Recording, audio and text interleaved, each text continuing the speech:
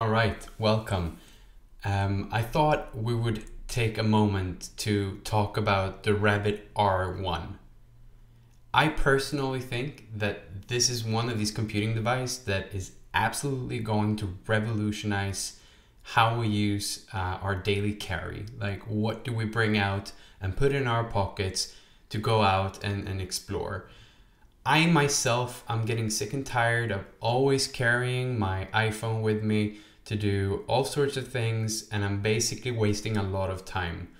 So, why don't we just sit back and enjoy this presentation from R1, look at it together, and in the end, we can have a little bit of a chat, maybe in the comments below, where we can talk about what we think about R1 and how this new uh, category of devices most likely will change uh, everything that we've come to to get accustomed to when it comes to our handheld devices. Um, without further ado, let's sit back uh, and enjoy the presentation. Hi everyone, my name is Jesse, and I'm the founder and CEO of Rabbit. I'm so excited to be here today to present to you two things we've been working on a revolutionary new foundation model, and a groundbreaking consumer mobile device powered by it. Our mission is to create the simplest computer, something so intuitive that you don't need to learn how to use it. The best way to achieve this is to break away from app-based operating system currently used by smartphones. Instead, we envision a natural language-centered approach. The computer we're building, which we call a companion, should be able to talk to, understand, and more importantly, get things done for you. The future of human-machine interfaces should be more intuitive. Now, before we get started, let's take a look at the existing mobile devices that we use daily. The one device that's in your pocket, the smartphones. Like iPhone and Android phones, these guys been here for years, and we've grown tired of them. The problem with these devices, however, is not the hardware form factor, it's what's inside. The app-based operating system. Want to get a ride to the office? There's an app for that. Want to buy groceries? There's another app for that. Each time you want to do something, you fumble through multiple pages and folders to find the app you want to use and there are always endless buttons that you need to click. Add to the cart, go to the next page, check the boxes, and jumping back and forth, and so on. The smartphone was supposed to be intuitive, but with hundreds of apps on your phone today that don't work together, it no longer is. If you look at the top ranking apps on app stores today, you'll find that most of them focus on entertainment. Our smartphones has become the best device to kill time instead of saving them.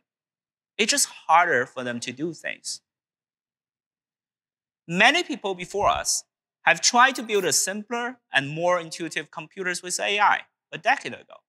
Companies like Apple, Microsoft, and Amazon made Siri, Cortana, and Alexa with these smart speakers. Often, they either don't know what you're talking about or fail to accomplish the tasks we ask for. Recent achievements in large language models, however, or LLMs, a type of AI technology, have made it much easier for machines to understand you. The popularity of LLM chatbots over the past years has shown that the natural language-based experience is the path forward. However, where these assistants struggle is still getting things done. For example, if you go to the ChatGPT and use their Expedia plugin to book a ticket, it can suggest options, but ultimately cannot assist you in completing the booking process from start to finish. Things like ChatGPT are extremely good at understanding your intentions, but could be better at triggering actions. Another hot topic is a field of research around what they call agents. It has caught the eye of many open source projects and productivity software companies. What remains to be solved is for these agents to perform tasks end to end accurately and speedily. The problem is forcing a model to perform a task it is not designed for, whether for a language model to reason about web page using super prompts or screenshots. We have yet to produce an agent as good as users simply clicking the buttons. To fulfill our vision of a delightful, intuitive companion, we must go beyond a piece of complex software. We want it to be in the hands of everyone. So, we first set out to fundamentally understand how computer apps are structured and, more importantly, how humans interact with them. We wanted to find a way for our AI to trigger auctions on behalf of users across all environments. We wanted to be universal, not just a Chrome plugin or a limited set of apps, but everything iOS, Android, and desktop. These applications share something in common the interface. They all have a user interface. So, at a philosophical level, if we can make an AI trigger actions on any kind of interface, just like a human would, we will solve the problem. This insight led us to create the large action model, or LAM, as we call it. It is new foundational model that understands and executes human intentions on computers, driven by our research in neural symbolic systems. With a large action model, we fundamentally find a solution to the challenges that apps, APIs, or agents face. We solve it with interfaces. LAM can learn any interfaces from any software, regardless of which platform they're running on. In short, the large language model understands what you say, but the large action model gets things done. We use LAM to bring AI from words to action. Finally, we can build a computer that, in addition to understanding what you're trying to say, can actually help you do things on your behalf. We pack the large action model into an advanced RabbitOS operating system. It is built for real-time interactions between you and the rabbit, powered by LAM. Large action models concept and test results are so powerful that we decided to make a one-of-a-kind mobile device. Introducing R1, your pocket companion.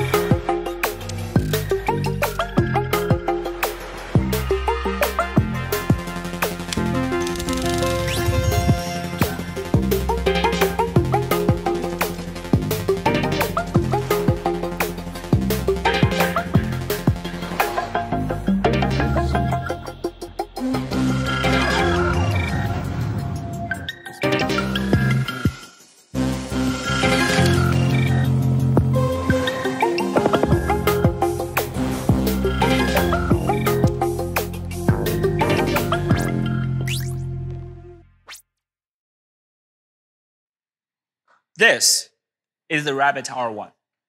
Designed in collaboration with Teenage Engineering, the R1 is a fully standalone device, primarily driven by natural language. The accumulation of countless hours of work from our research, design, and software teams. It is simple to use. R1 is equipped with everything you need to interact with you and perceive your surroundings.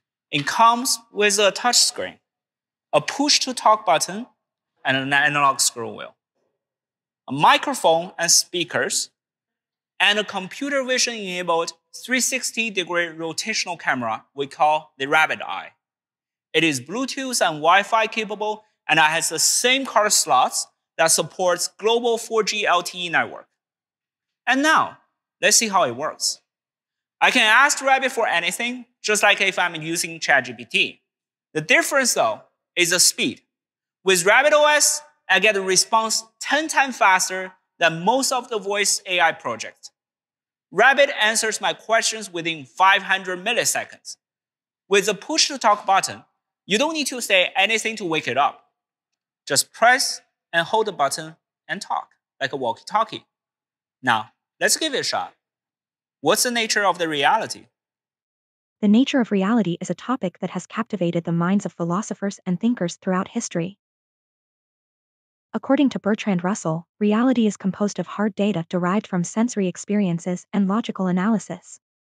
It is the amalgamation of our perceptions, thoughts, and the external world.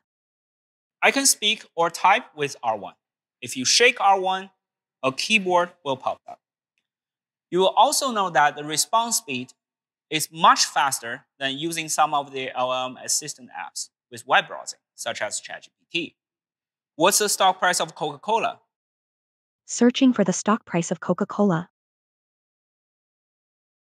The stock price of Coca-Cola, KO, is $59.76.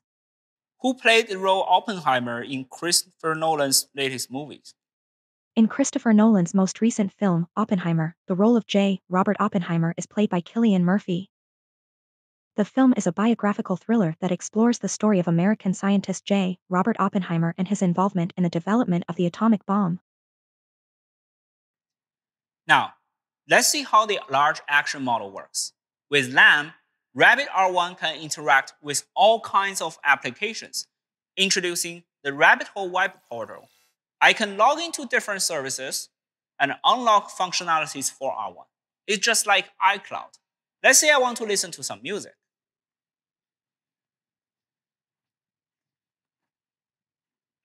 With the Rabbit Hole Web Portal, I have complete control over which services I want to activate on my R1 and which provider I prefer. For music, I use Spotify. So let's go ahead and connect my Spotify to the rabbit hole. Now that this is Spotify login page, before I start the login process, I want to emphasize our commitment to privacy. The way we design the infrastructure for apps that we interact with, we don't create fake users or spam users.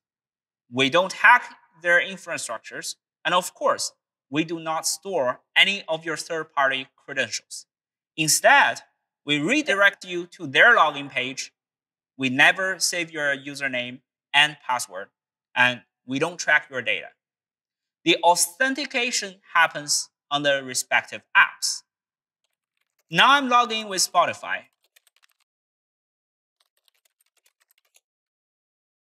Rabbit OS recognized that Spotify has been authenticated on my device. Before this presentation, I pre-authenticated some other apps like Uber and DoorDash.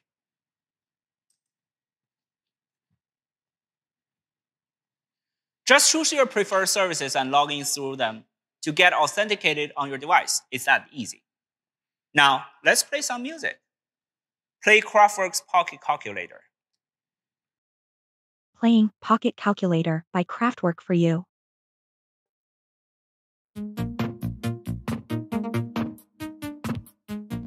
Play another song from the album.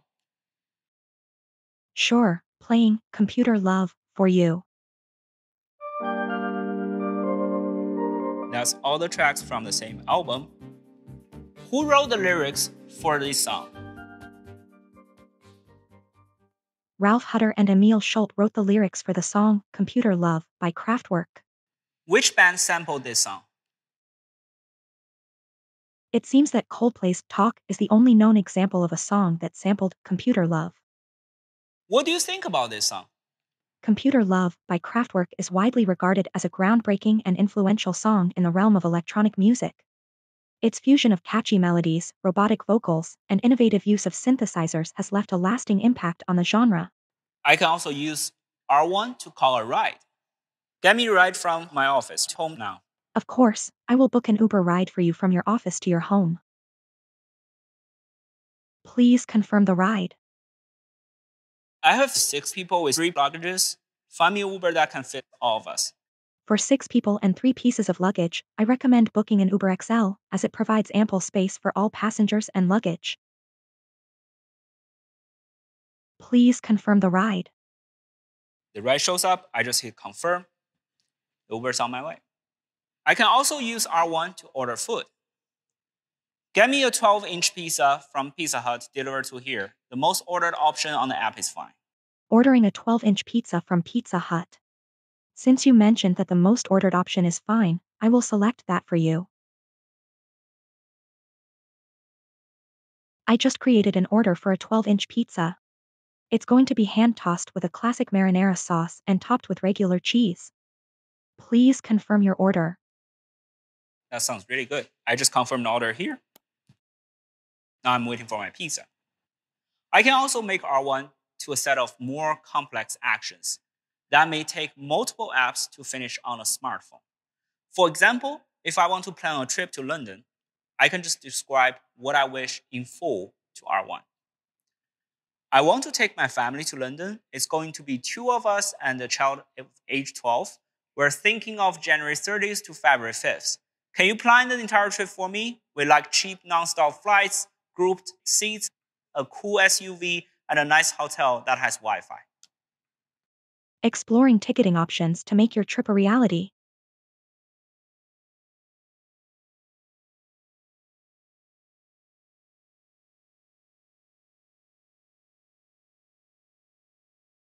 For your trip, I found various flight options, a range of hotels to choose from, and car rentals available. Please confirm each option individually for further details and booking. So it's all been planned out. I just confirm, confirm, confirm, and that's it. Could you come up with a schedule for fun things to do while I'm over there? On it. I have prepared a detailed travel plan for your trip. In summary, you will be exploring London's iconic landmarks, visiting museums, enjoying delicious meals at local restaurants, and experiencing the vibrant atmosphere of different neighborhoods. Navigation details are also prepared, and I can help you book tickets for any events you'd like to attend. R1 just planned the entire trip for me. That's awesome. But it seems like this is a little bit too intense. Can you plan an easy schedule for us? Sure, I'm working on it.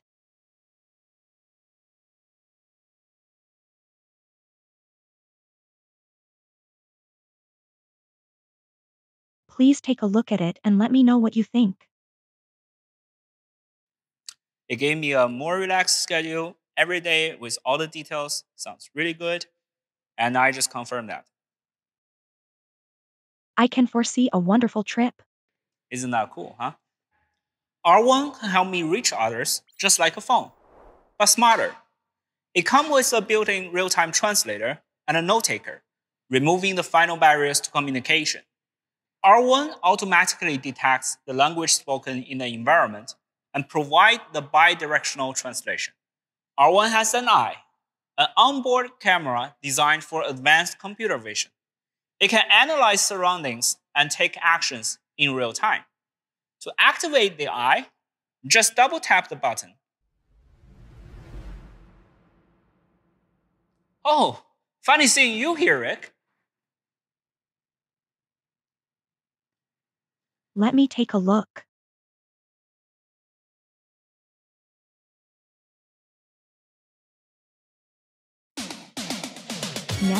Here we got Rickrolled, and I cannot display the audio here or hide the audio here because then I get copyright. So I will not put the audio here. Thank you very much. This is what I got in the fridge. Can you make me a nice dish that's low in calories? Let me see.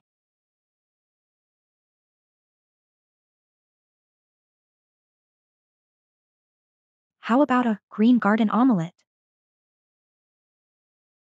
It's a delicious and low-calorie dish that combines the freshness of broccoli and cabbage with the creaminess of eggs. Here's a simple recipe for you. Nice. It recognized all the stuff and gave me the actual recipes. Rabbit Eye can also help you with your documents.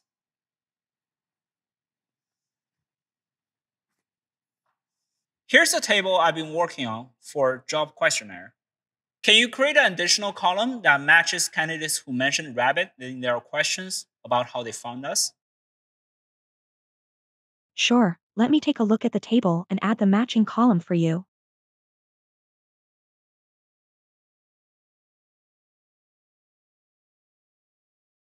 I've processed the table and sent you an email with the results.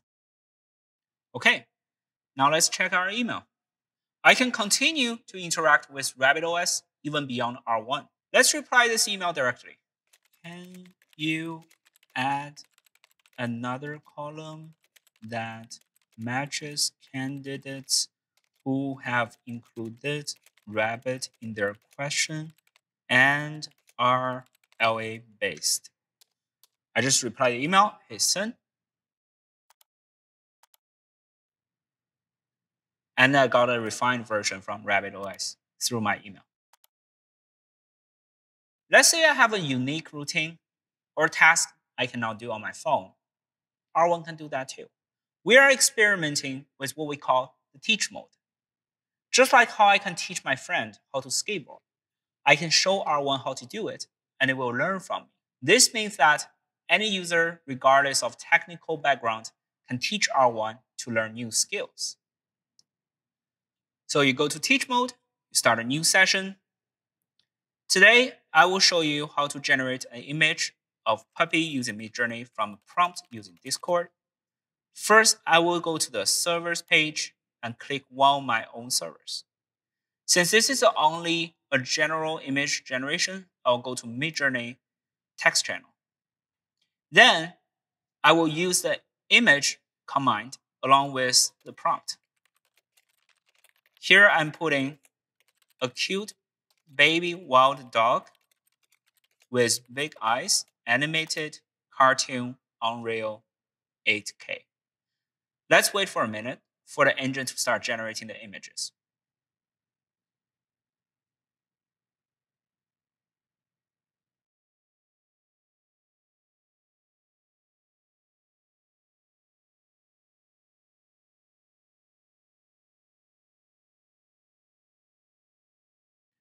Once it's done, let's click on the image to get a link.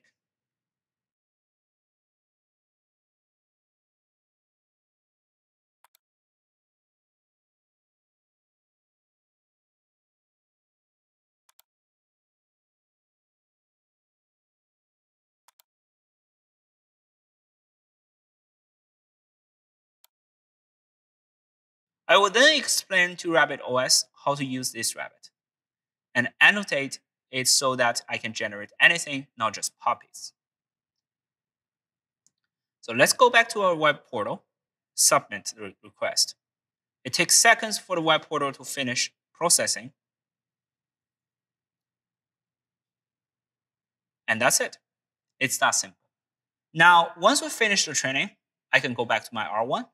Now let's use Midjourney as I told you, to generate a picture of a bunny in pixel art style. Certainly, Jesse. I will use Midjourney to generate a picture of a bunny in pixel art style for you. Please give me a moment to create the image.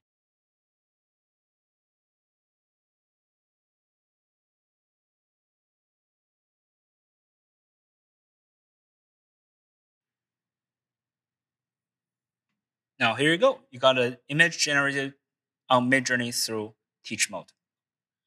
Watch, learn, and repeat. That's teach mode. It's that simple. That's all the demos for today. With LAM fast evolving, my R1 will eventually help me to do things that can never be achieved on an app-based phone. Speaking of the current app-based phones, the first question we ask about ourselves is, why would I need a new device if I already have a $1,000 iPhone. My iPhone can't do any of this at all. We do not build Rabbit R1 to replace your phone. It's just a different generation of devices.